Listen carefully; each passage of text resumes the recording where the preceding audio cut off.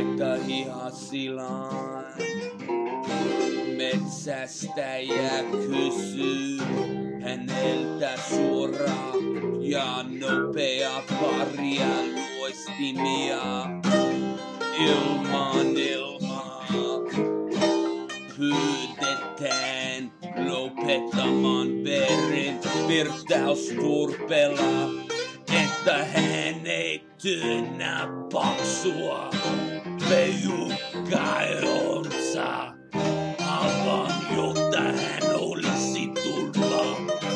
Sen totuus on yhden kulman totuus.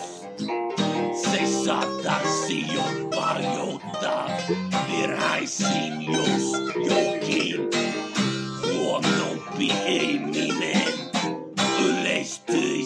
liian pienistä tosissa ekoista.